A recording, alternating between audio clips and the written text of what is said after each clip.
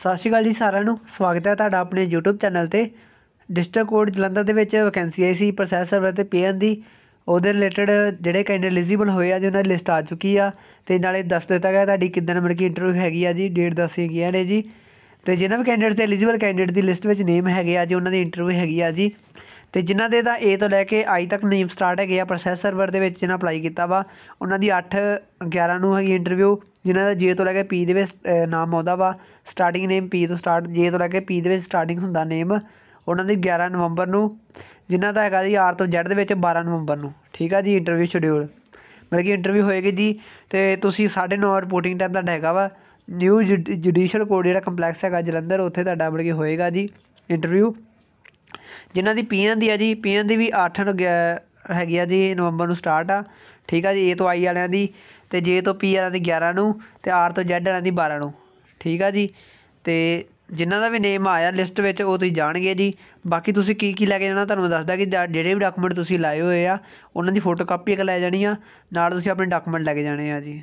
ਠੀਕ ਆ ਜੀ? ਓਰੀਜਨਲ ਬਾਕੀ ਆਪਣੇ ਤੁਸੀਂ ਫੋਟੋ ਕਾਪੀਆਂ ਵੀ ਲੈ ਕੇ ਜਾਣੀਆਂ ਨੇ। ਤੇ ਬਾਕੀ ਜਿਹੜੇ ਵੀ ਕੈਂਡੀਡੇਟ ਇਹਨਾਂ ਦੱਸਿਆ ਵੀ ਹੋਇਆ ਕਿ ਜਿਹੜੇ ਲਿਸਟ ਆਫ ਕੈਂਡੀਡੇਟ ਹੈਗੇ ਆ ਅਪਲਾਈਡ ਜਿਹਨਾਂ ਪ੍ਰੋਸੈਸਰ ਨੂੰ ਅਪਲਾਈ ਕੀਤਾ ਹੋਇਆ ਵਾ ਉਹ ਆਪਣਾ ਜਿਹੜਾ ਲਿਸਟ ਆਈ ਉਹ ਚੈੱਕ ਕਰ ਲੈਣਗੇ ਜੀ। ਕਈਆਂ ਦਾ ਕੈਂਡੀਡੇਟ ਦਾ ਰਿਜੈਕਟ ਕੀਤਾ ਹੋਇਆ ਵਾ, ਉਹ ਕੈਂਡੀਡੇਟਸ ਨਹੀਂ ਜਾਣਗੇ। ਮੈਨੂੰ ਨੈਕਸਚਰ ਬੀ ਜਿਹੜਾ ਦੱਸਿਆ ਗਿਆ, ਉਹਦੇ ਜਿਹੜੇ ਕੈਂਡੀਡੇਟ ਰਿਜੈਕਟ ਕੀਤੇ ਗਿਆ ਕੋਈ ਓਵਰੇਜ ਕਰਕੇ ਅੰਡਰੇਜ ਕਰਕੇ, ਜਾਂ ਉਹਨਾਂ ਦੀ ਲੇਟ ਉੱਥੇ ਪੋਸਟ ਮਿਲੀ ਆ, ਪਹੁੰਚੀ ਆ ਸੀਗਾ ਜਿਹੜੀ ਸੀ ਨੈਕਸਚਰ ਉਹ ਪੀਐਨ ਦੇ ਜਿਹੜੇ ਐਲੀਜੀਬਲ ਹੋਏ ਕੈਂਡੀਡੇਟ ਉਹਨਾਂ ਵਾਸਤੇ ਆ। ਨੈਕਸਟ ਡੀ ਆ ਜਿਹੜੇ ਪੀਐਨ ਦੇ ਰਿਜੈਕਟ ਕੀਤੇ ਆ।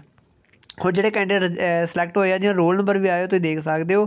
ਬਾਕੀ ਤੁਸੀਂ ਆਪਦੇ ਨੇਮ ਦੇ ਸਟਾਰਟਿੰਗ ਨੇਮ ਤੋਂ ਅਕੋਰਡਿੰਗ ਹੀ ਜਾਣਾ ਵਾ। ਤੇ ਤੁਸੀਂ ਜਲੰਧਰ ਡਿਸਟ੍ਰਿਕਟ ਕੋਰਟ ਦੀ ਸਾਈਟ ਤੇ ਜਾ ਕੇ ਵੀ ਦੇਖ ਸਕਦੇ ਹੋ। ਵੈਸੇ ਮੈਂ ਟੈਲੀਗ੍ਰਾਮ ਦਾ ਲਿੰਕ ਇਸੇ ਵੀਡੀਓ ਤੇ ਬਾਉ ਚਾ। ਉੱਥੇ ਮੈਂ ਤੁਹਾਨੂੰ ਪੀਡੀਐਫ ਅਵੇਲੇਬਲ ਕਰਾ ਦਾਂਗਾ ਜੀ। ਇਹ ਕੈਂਡੀਡੇਟਸ ਹੈਗੇ ਜਿਹੜੇ ਪ੍ਰੋਸੈਸਰ ਵਾਸਤੇ ਐਲੀਜੀਬਲ ਆ। ਇਹ ਕੈਂਡੀਡੇਟਸ ਹੀ ਜਾਣਗੇ ਨੈਕਸਟ ਏ ਵਾਲੇ। ਉਧਰੋਂ ਨੈਕਸਟ ਸੀ ਵਾਲੇ ਆਪਣੀ ਇੰਟਰਵਿਊ ਲਈ ਜਾਣਗੇ ਜੀ। ਜਿੱਦਾਂ ਆਪਾਂ ਜਾ ਕਲਿੱਕ ਕਰਦੇ ਆ ਜੀ। ਤੇ ਉਹਦੇ ਵਿੱਚ ਤੁਹਾਡਾ ਨੇਮ ਲਿਖਿਆ ਇਸ ਅਲਫਾਬੈਟ ਵਾਈਜ਼ ਲਿਸਟ ਬਣੀ ਹੋਈ ਆ।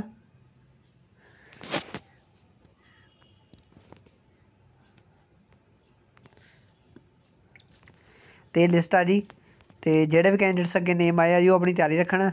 ਤੇ ਜਿੱਦਾਂ ਹੁਣ ਆਪਾਂ ਪੀਐਨ ਲਈ ਦੇਖਦੇ ਹਾਂ ਜੀ ਪੀਐਨ ਲਈ ਟੋਟਲ ਜਿਹੜੇ ਕੈਂਡੀਡੇਟਸ ਹੈਗੇ ਆ ਜੀ, ਆਪਣੇ 1465 ਹੈਗੇ ਆ ਜੀ। ਤੇ ਅੱਗੇ ਜੇ ਆਪਾਂ ਗੱਲ ਕਰਦੇ ਹਾਂ ਜੀ ਦੂਜੇ ਪ੍ਰੋਸੈਸਰ ਵਾਲੀ ਤੇ ਇਹਦੇ ਵੀ ਲਿਸਟ ਇਦਾਂ ਹੀ ਆ ਜੀ। ਤੁਸੀਂ ਆਪਣੇ ਰੋਲ ਨੰਬਰ ਸਰਚ ਕਰ ਸਕਦੇ ਹੋ ਜੀ।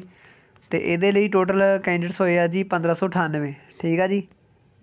ਤੇ ਜਿਹੜੇ ਆ ਕੈਂਡੀਡੇਟ ਨੈਕਸਚਰ ਬੀ ਵਾਲੇ ਹੈਗੇ ਆ ਜੀ ਰਿਜੈਕਟ ਹੋਏ ਆ, ਇਹ ਮਤਲਬ ਕਿ ਨਹੀਂ ਜਾਣਗੇ ਇੰਟਰਵਿਊ ਵਾਸਤੇ, ਕਿਉਂਕਿ ਇਹਨਾਂ ਨੂੰ ਕਿਸ ਰੀਜ਼ਨ ਕਰਕੇ ਬਾਹਰ ਕੱਢਿਆ ਜੀ?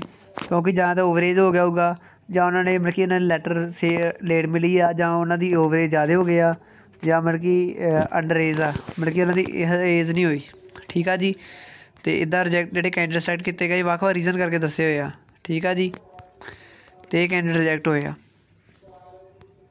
ਤੇ ਇਹ ਵਾਲੇ ਕੈਂਡੀਡੇਟ ਹੋਏ ਆ ਜੀ ਪੀਐਨ ਵਾਸਤੇ, ਜਿਹੜੀ ਪੋਸਟ ਵਾਸਤੇ ਅਪਲਾਈ ਕੀਤਾ ਸੀ ਜਿਨ੍ਹਾਂ ਨੇ, ਜਿਨ੍ਹਾਂ ਦੇ ਓਵਰੇਜ ਹੋ ਗਏ ਆ ਜਾਂ ਡਿਸ ਅਹ, ਆਪਣਾ ਫਾਰਮ ਰਿਸੀਵਰ ਲੇਟ ਹੋਏ ਆ, ਉਹਨਾਂ ਨੂੰ ਡਿਸਕੁਆਲੀਫਾਈ ਕਰ ਦਿੱਤਾ ਗਿਆ ਜੀ। ਬਾਕੀ ਜਿਹੜੇ ਵੀ ਕੈਂਡੀਡੇਟ ਅਪਲਾਈ ਕੀਤਾ, ਜਿਨ੍ਹਾਂ ਐਲੀਜੀਬਲ ਕੈਂਡੀਡੇਟ ਲਿਸਟ ਹੈਗੀ ਆਪਣੀ ਤਿਆਰੀ ਰੱਖੋ ਜੀ, ਤੇ ਲਿਸਟ ਆ ਚੁੱਕੀ ਆ ਜੀ। ਤੇ ਇੰਟਰਵਿਊ ਸ਼ਡਿਊਲ ਵੀ ਆ ਚੁੱਕਿਆ ਜੀ।